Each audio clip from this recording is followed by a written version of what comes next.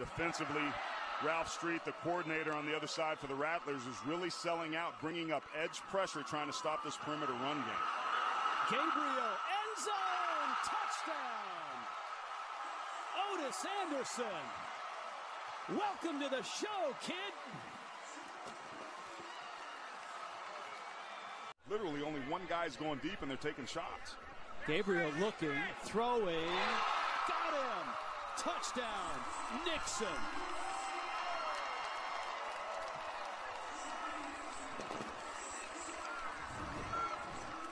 Very Reggie McKenzie-esque. Good job of putting his foot in the ground, turning his shoulder, showing the breadbasket to Gabriel. Puts it right on the money. We've seen both of these quarterbacks, the true freshman Gabriel and Brandon Wimbush, down here in the red zone, go that nice, tight, quick slant game for scores.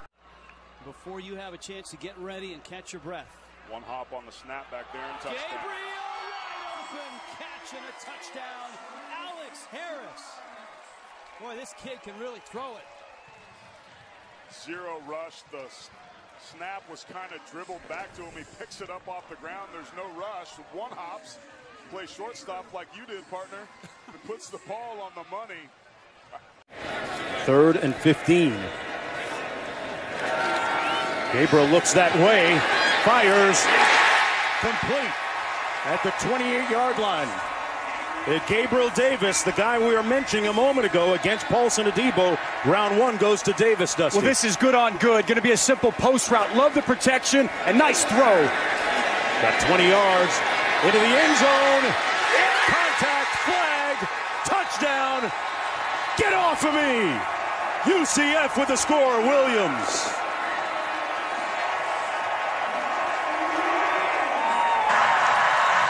Pass center defense. Defense number 21. The penalties declined and the result of the play is a touchdown. Gabriel gonna take a shot, has a man. Nixon. Touchdown, Knights.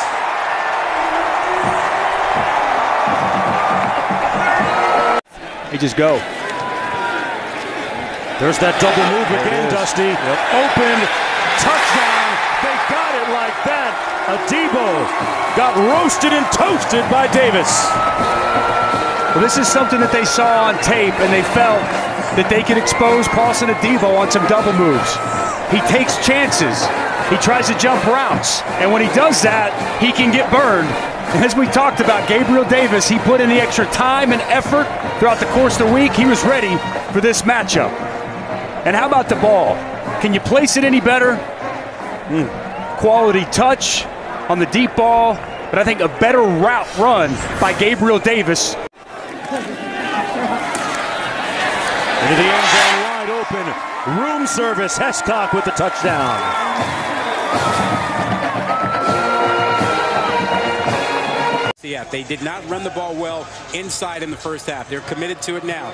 And they protected Gabriel to get the ball down the field and focused on and uncovered Davis. A bust, a complete bust. Pitt was running somebody off the field on the snap and Gabe Davis scores.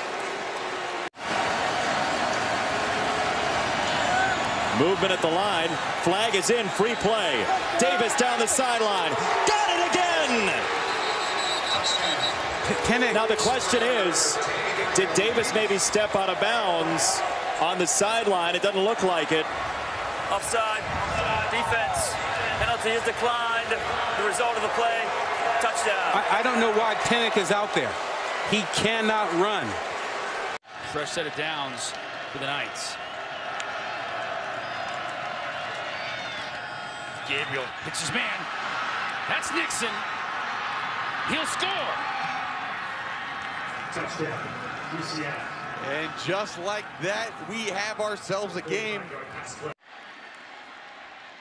Quickly they go, and it's a touchdown. Right away, they get under the center, they snap the ball, and they punch it in for the touchdown. And UCF has the game's first points, not even five minutes into this one, as Gabriel and company march right down the field, a drive that started inside of their five-yard line. And they finish it off the way everybody should finish it off on third and fourth and short and goal line. Quarterback sneak. Drives me crazy more teams don't do it. It's the most effective play in that situation, and UCF knows it, and they cash in. Dylan Barnes tacks on the point after, and it's a 7 nothing lead for UCF. Here on homecoming, Dillon Gabriel finds the end zone, and the Knights on top by a touchdown early. There's one thing, the depth that you guys were talking about that Mike Houston talked about that UCF has. East Carolina just doesn't have it. Here's a slant touchdown. Second of the ball game. Gabriel Davis, his 10th receiving touchdown of the season. Quick strike, 16 yards, 34-3 UCF. Boy, I don't know, Ben, why you're in that coverage on third and nine. It's man-to-man -man coverage. Safety's up in the box. You're just asking a lot of your corners there. That's the second consecutive touchdown where they're asking a corner to cover the best wide receiver in the conference, man-to-man, -man, with all kinds of space in the middle of the field. Trying to get some rhythm in their game here. They've had none so far in the third quarter. Dillon Gabriel keeps it. Dillon Gabriel into the open field, slides down safely. You talked about that earlier in the game. Good example of it there. I was so impressed for a freshman, true freshman quarterback especially one that ran the West Coast offense in high school. Yeah. How smooth he is running and knowing when to slide. 12-yard pickup there. Now floats it out. Man open. Penalty flag down. Tre Nixon trying to take this one in. And Nixon does. Touchdown, but there is a penalty flag Holding. back at the 41-yard line. 53-yard play. 53-yard pitch and catch. Nixon a touchdown. Nixon's bottom of the screen. He's got man-to-man -man coverage right here. He just inside release and he tries to get back outside and McMillan just falls. McMillan tried to hold him and really didn't do a good job of holding him because Nixon still scored a touchdown. They'll empty the backfield for the freshman. Time surveys, fires in zone. There's Davis, and there's a touchdown for the Knights.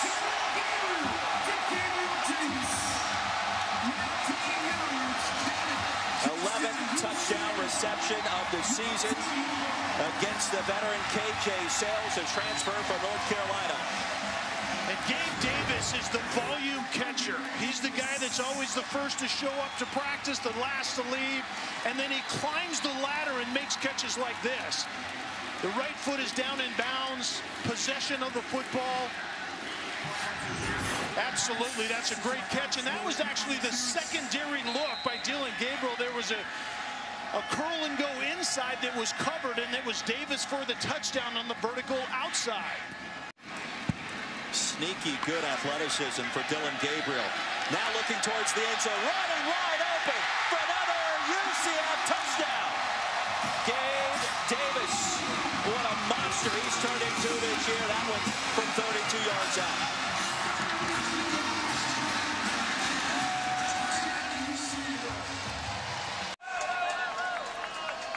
Eight in the box for the Thundering Herd, and Dillon Gabriel looks to the sideline for a change of play. Hescock in motion. They'll dump off the screen pass. Real estate. Anderson. End zone for the touchdown. Brilliant play call on fourth down and seven. The end result's a 35-yard pitch and catch. Third and goal. You wonder, is this four down territory for the Knights offense? Gabriel keeps it. End zone for the touchdown.